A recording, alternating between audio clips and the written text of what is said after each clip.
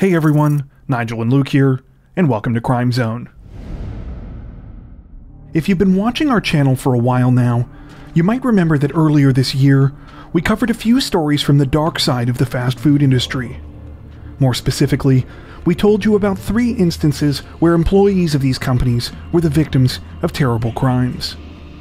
As you know, we occasionally like to revisit past themes to explore even more cases that we didn't have time for in earlier videos. So today, we thought we would bring you two more similarly terrifying stories involving fast food workers.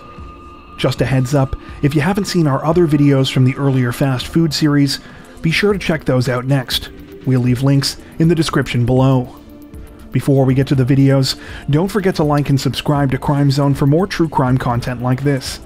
It really helps us to continue building the channel, and if you've watched a few of our videos already, you might not even realize that you're not subscribed. While you're there, don't forget to hit the notification bell to stay up to date with our latest releases. With that out of the way, here is part one of two more terrifying crimes targeting fast food workers.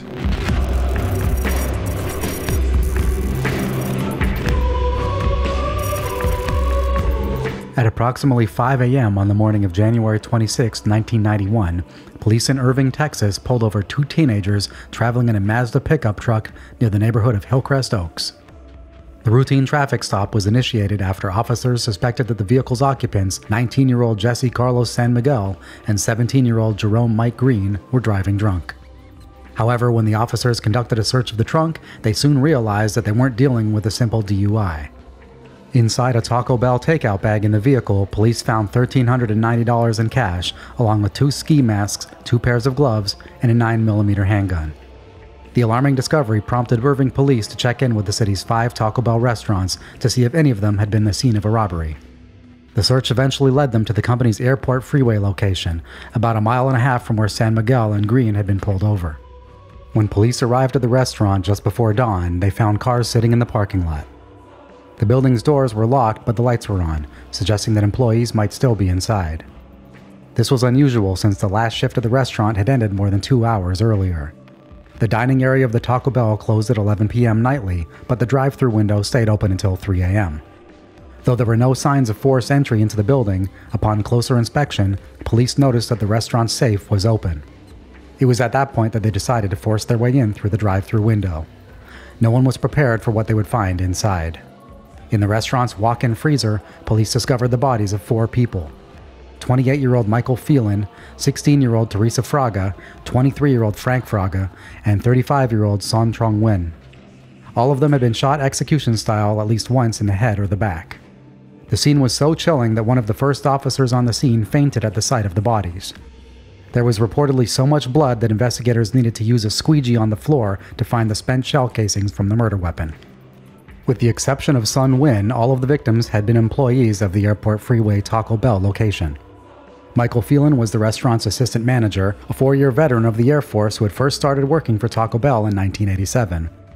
Tragically, he had only been working at the specific location since October and was scheduled to be moved to a different store in the coming weeks. On the morning of the killings, Michael's wife of five years, Linda, had become concerned about him and drove down to the Taco Bell only to find the place swarming with police and covered in crime scene tape. The stories of the restaurant's other employees were equally heartbreaking. Teresa and Frank Fraga were cousins who had started working at the Taco Bell location a short time apart. Teresa had been hired first and had then helped Frank get a job too. They had grown up in a tight knit family from Dallas and had essentially been raised as brother and sister.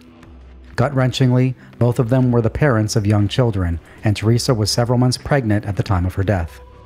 Sun Nguyen was a family friend of Fraga's, an immigrant to the United States who had formerly served in the army in South Vietnam and who had come to America for a better life.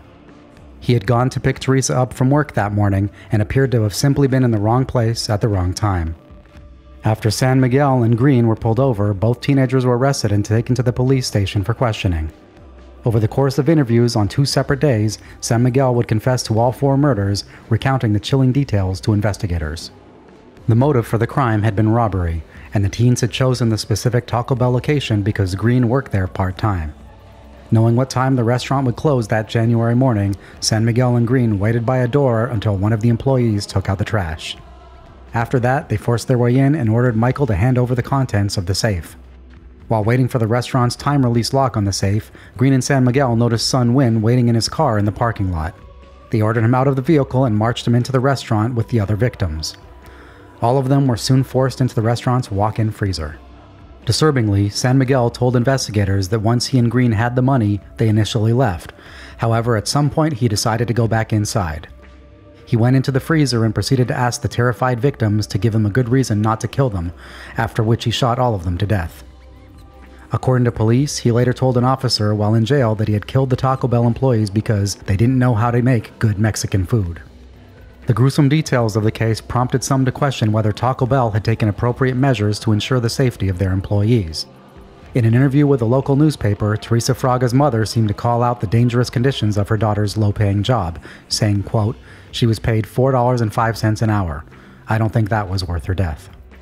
Further validating these concerns was the fact that five other people had been killed during the late shift at fast food restaurants in Dallas County within the previous two months.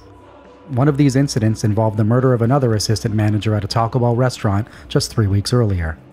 The fact that none of these incidents were related arguably made the situation all the more terrifying. For their part, Taco Bell responded by saying that they had conducted a review of their security protocols and found that they were more than adequate.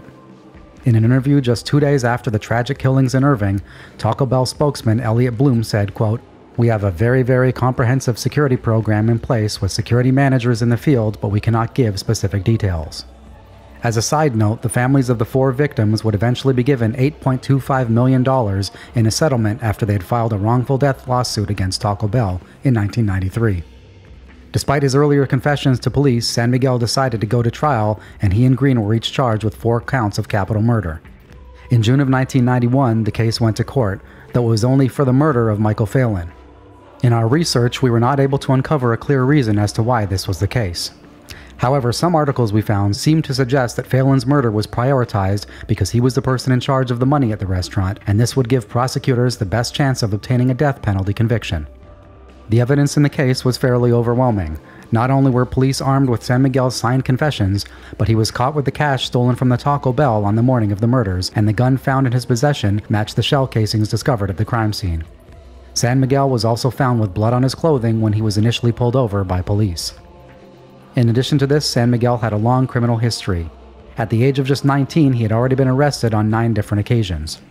In fact, he had been released from jail on a $45,000 bond less than two weeks before the killings at the airport freeway Taco Bell. Two of the charges he was awaiting trial for at the time were for burglary. On June 20, 1991, Jessy Carlos San Miguel was convicted of the capital murder of Michael Phelan. Six days later, he was sentenced to death by a jury after less than three hours of deliberation.